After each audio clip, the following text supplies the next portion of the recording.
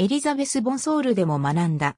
ペンシルベニア美術アカデミーで教え、教えた画家には、エリザベス・ウェントワース・ロバーツがいる。